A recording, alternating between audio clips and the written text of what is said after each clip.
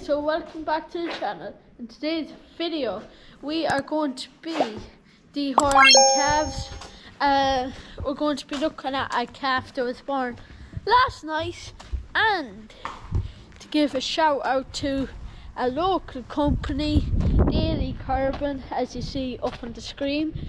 Uh, if you want carbon done all around Ireland, uh, ring the number and yeah.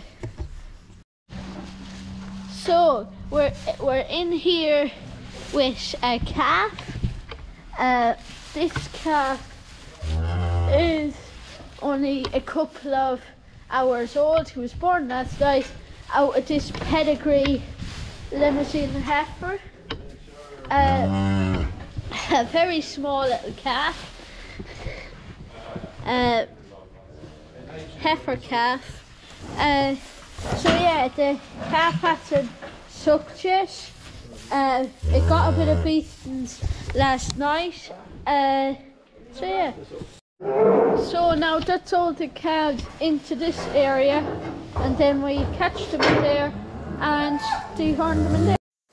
Okay, so we are dehorning calves here. Uh, I am filming and my dad and my uncle are putting the calves into the crush and dehorning them. Uh, so yeah, we're dehorning the Charolais calves. Uh, so what we use is the crate and uh, hot iron that's uh, plugged into a cable. Uh, the way that my dad does it is he just goes in and flings out the horn. There's probably many ways of doing it. It's the way my granddad taught him to do it. Uh, well, that's what I think anyhow. Uh, yeah, and then I come up and I give it a little spray of, we call it silver spray, I don't know exactly what it is. Uh, spray it there so it doesn't get any infection or bleed. Uh, and yeah, then we let them out. And yes, this is a another calf going in. These are all our own Charolais calves. Uh, we have eight calves. We ha have lost three calves, unfortunately, but uh, them three cows actually went to the market there the other day and got good prices for them. So yeah, unfortunate, but they left the return. Um, yeah, we'll get the cows going out in, uh, in during the week.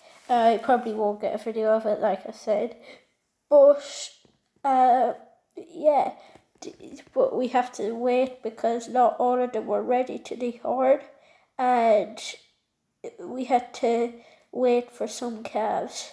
Uh, they were just a bit too young. Sometimes they don't develop horns too early. But um, as you may know, if you've been watching the channel for a while, uh, we're going down the route of stabilizers. So stabilizers are actually polled, which means they have no horns. So less or less of the dehorning. Uh, so yeah, hope you enjoyed the dehorning. Just looking at the calves, this is what it looks like after, like this said, uh, after when it's done. So yeah. Uh, yeah, the calves do move around a lot, even though we have them tight. Uh, yeah, uh, Charolais calf, you can see up in the corner of the screen there, my granddad's going in to have a look and all. Uh, yeah, these these calves have been near four weeks old, I say three, four weeks old. So yeah, they would want to have horns, and we had a one that's about two months old that had horns, and yeah, couldn't really film up too much of that, uh, because Kev nearly broke a gate while the in. So yeah, uh, yeah, I'm see, I'm just. So in in this batch here, we only had two to do uh, three to do, the three oldest. Uh, yeah, I'm not sure. To, oh no, I don't think the three oldest lads, but two of the oldest lads and another lad. So these could now go out through this creep here where the cows stick their head through. And so, as you can see, the started shedding here is a lot emptier. It's only a heifer calved in June, two breeding heifers, and a limited in calf heifer calved in autumn. This cow is due to calve shortly. Uh, this heifer's also calved in June. We have two heifers calved in June with stabilizer bull. Uh, then we have autumn calvers in here. Uh, their calves are actually running out to running out into a grass field or out to the shed through a creep gate. And we have Georgie the stabilizer bull.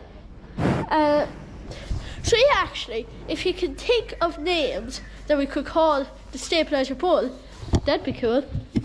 Uh, and them cows that we dehard the calves from they're still inside, but they're going out during the week. Don't think I'll get any video of that. So yeah. So as well, what we did the other day is we sprayed four loads of slurry because the ta- the two tanks were full, so we took two load out of each. Uh, here's the slurry. It's triple barred, so if you're grazing during the summer or anything, you can put the slurry down that line. Then the next side of slurry's down here, and the cattle can eat in there. The cattle can eat all of that. You can still spread slurry to get nutrition on the ground. So yeah, that's that's what we did. Four loads across three paddocks with a 3,000 gallon tanker. Uh, so 12, so he did four loads.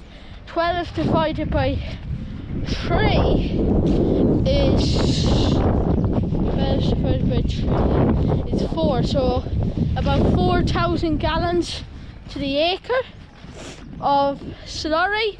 So yeah, if that doesn't make the grass grow, nothing. I did, as well as what we did, I didn't get it on camera or anything. Uh, these Charolais weanlings here across the way, there's dairy beef weanlings, but these Charolais ones here, this is an older heifer here, but these, we let these out today. That's an old heifer that we let back out that we'll sell during the summer. Uh, but these heifers, we let these are these are beef stock, so there's 14 I think. Yeah. Yeah, 14 to go down the road to a bit of grazing. We rent out. Uh, it's about 11 acres. Uh, so they'll go down there. Not, not all of these. There's two breeding heifers here that we're going to put in calf and sell as in calf heifers and that black one uh, is wild. So we're not there's not really a proper handling system there. So we're not going to put her down in case we have to get cattle in over the summer let's put these dairy beef stock out. That's a real nice heifer. That is a red angus. And she she'll fatten easy because she nearly punches the fat on her. Now but this heifer here uh the not that black heifer black heifer the far side and two black white heads out there. They're the ones that we bought the rest of them we reared. Uh the ones that we bought are five months younger than or yeah five months younger than what we reared but there's not much of a difference.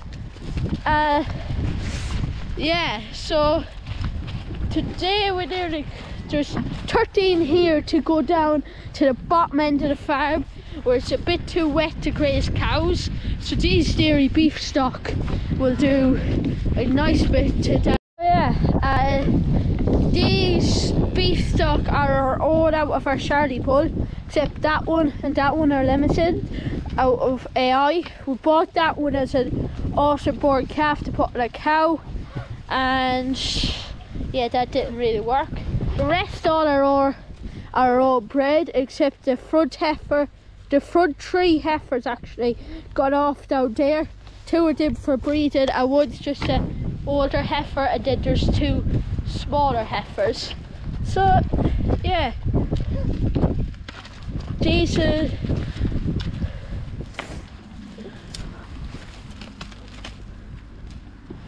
starts having a bad feet. Will go down and then next winter, blue here. Next winter they'll be brought in and we'll just put loads of silage in front of them. Well it depends if we have a good pace and we'll sell them. And this one is actually a dairy heifer. We're not going into dairy. She was bought, she's a Montbéliarde, a French breed I think. I'm pretty sure French breed. Belgian blue, another Belgian blue, two red Anguses, and loads of black Whiteheads and Herefords.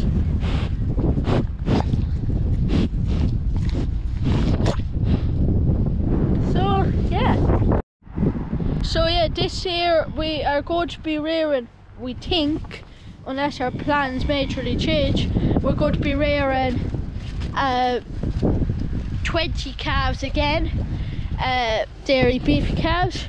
And what we do is we keep them calves for finishing and sell our, hef our heifers as stores and our bulls as weanlings. So yeah, these are two of the ones that we bought. Good tall heifers, but they had bad feet and they still do have curly feet. Uh, yeah, they're what we call a black white head.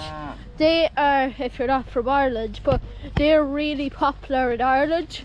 But as a cow, uh, and as as a cow and uh, finishing animal. So what these are is they're a mixture of they're put to a Hereford bull that kind a Hereford kind of looks like a bull kind of looks like that or that. They're not pedigree Herefords. The bull kind of just brought out a bit more colour in them. And uh, yeah, they're they're really good for finishing it on.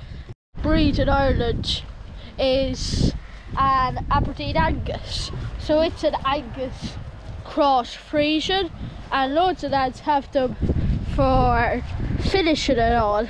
So yeah, uh, yeah, they, that's a Hereford kind of one. That's a cow kind of brought a bit more colour because it's nearly like a Friesian.